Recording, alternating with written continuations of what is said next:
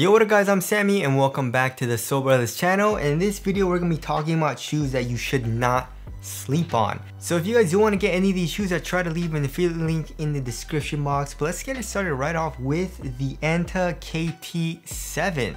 So the KT7 is an amazing shoe. It is a little bit on the expensive side, especially for Anta. It's 150 bucks but the traction is solid. The cushion is also really nice. You know, the step-in comfort is amazing. Although it's super caged and like the actual midsole doesn't compress that much, you have a nice compression underneath your foot, which I like. And you have a crazy offset, like the heel is very, very high if you guys like that. Materials is super thin and the shoe overall is supportive. Uh, one shoe that I'm super excited about is the KT7 Low right? Uh, it's a it's a low version of the KT7, which I would prefer just because I like to play in lows more than like mid tops or high tops. And also the material has changed. It's a very, it looks like a super nice cozy knit, like a knit like your grandma would make for you for the sweaters and stuff. Um, so I'm super excited about that. It's $5 cheaper than the KT7, which is, I mean, there. Uh, remember the KT4 low and the KT5 low?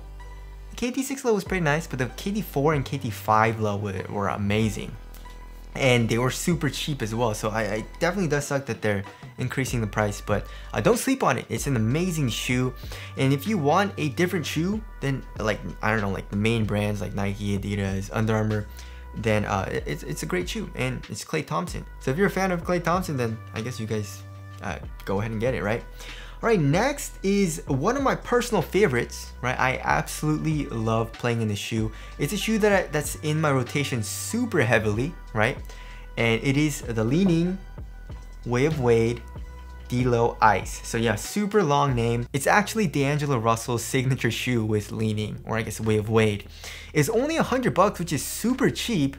Uh, but it is a freaking amazing shoe. The only thing I don't like about it is the cushion and it's not terrible. It's just that uh, if you're looking for impact protection or you're older and your knees hurt or whatever, your feet hurt and you need a little like better impact protection than normal, then don't get the DLO Ice. But if that's not super important to you and you want a shoe that's really, really responsive, lightweight, supportive, and, and everything that you want in a great basketball shoe, the DLO Ice has it, right? So traction is top tier.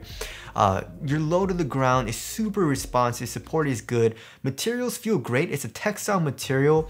It kind of reminds me of like Jacquard, right? And uh, it's it's thin, it conforms to your foot very well, and for a hundred bucks, it's a great quality material as well. It fits me perfectly. And also it's a great looking shoe. The colorways that have come out look great as well. So uh, the DLO Ice, definitely do not sleep on it. It's an, it's an amazing shoe. All right, next is the Adidas Harden Volume 6. So surprisingly, I've been seeing a lot, well not a lot, but a couple of Harden Volume 5s here and there. I'm, and I'm like, yo, how are you playing those? I mean, like, it's not terrible. You can definitely ball in them, but it's like, yeah, so many better options in my opinion, you know what I mean? Uh, but yeah, the Harden Volume 6, I have not seen anybody playing in them. And uh, I feel like, you know, Hardens have kind of not been super popular lately. You remember, remember when the Harden Volume 1 came out? Everyone had a Harden Volume 1. The 2, 3, and... I, not Maybe not the 2. I don't think, remember seeing a whole lot of 2s, but the 3 and the 4 were super popular. I, I remember seeing a lot of pairs of those as well. And the 5 kind of like fell off. And the 6, I haven't really seen any. It might be like James Harden as a player. I feel like maybe um, people don't like him. I don't, I don't know what it is. But anyways, uh, the Harden Volume 6 is an amazing shoe. The traction is top tier, right? It was in the top traction video. Cushion also is super nice. Full length boost, you're very, very low to the ground.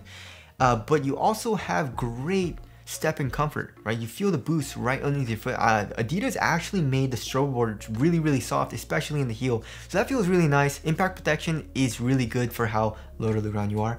Materials, I would say, it's not the it's not the most minimal feeling material, but it's very very supportive and like it gets soft. You know, once you break it in, it gets like on the softer side of things. But overall, it's super supportive shoe as well. As far as the weight goes, it's not the best for weight though. It's like 14, 15 ounces if I remember correctly. So if you're looking for a light shoe, then it's not the shoe to get. But it, weight isn't wasn't a huge deal for me just because it was a really responsive shoe. Uh, so the Harden Volume 6, definitely do not sleep on them. And next, we got the Jordan Zoom Separate. So it's like a cheaper shoe, and it's kind of like a team model Jordan shoe as well. And I feel like it's more like under the radar, but the Zoom Separate has phenomenal performance. I really like playing in it. Uh, so first of all, the traction is also top, top tier. really, really good traction. Uh, and cushion also is like a really good blend of everything, right? So you got good court feel, you got good bounce. It's not too much like Zoom Strobel or anything. Uh, you got a, a nice top-loaded zoom unit in the forefoot. You get a lot of compression in the heel actually. And also, uh, you have crazy good and very, very smooth heel to toe transition. Also, I really like uh, the shape in the forefoot right? It's a very curved shape and it helps me. I don't know what it is with the shoe. Maybe it's like super curved or something, but when I plane it, it really keeps me on my toes and I especially notice it when I'm shooting threes and like it just really keeps me on my toes, especially comparing it to like more flatter outsoles like Adidas, for example. Uh, it doesn't keep me on my toes as much. You know, I'm more like flat footed when I'm shooting, which uh, you kind of want to be on your toes when you're shooting, right?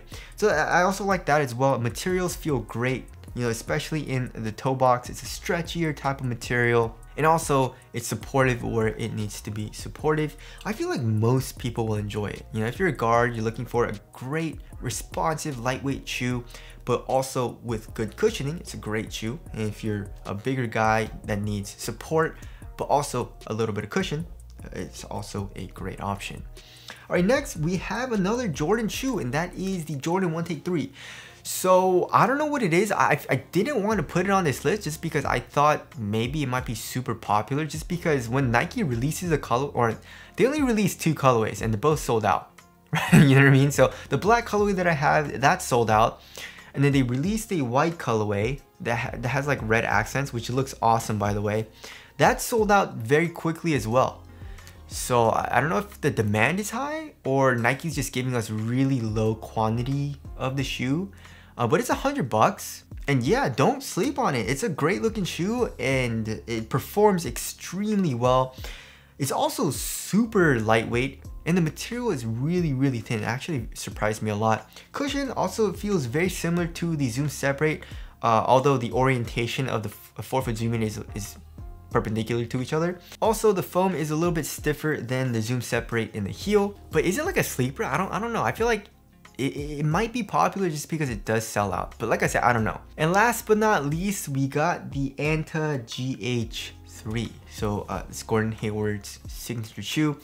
Uh, traction is freaking phenomenal on a clean court. It picks up a little bit of dust however, but uh, it's a pretty easy wipe. Cushion also is nice. You know, you have nice compression in the heel. Material, although it's not like the textile material that we got in the GH2, it's more of like a synthetic material, but it's thin and also it's a super supportive shoe. And I absolutely love that strap design that they have going on with the tongue that kind of like connects to the straps that go on the side of the shoe.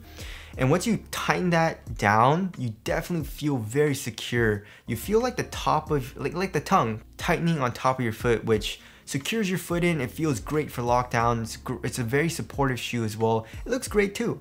So uh, the GH3 is a solid performer and you definitely shouldn't sleep on it. But anyways, that about wraps it up for this video. Uh, am I missing any shoes? If I am, tell uh, tell me down in the comment section below. But anyways, if you guys do want to get any of these shoes, I try to leave an affiliate link in the description box. But that's it. Thank you guys for watching, and I'll see you guys in the next one.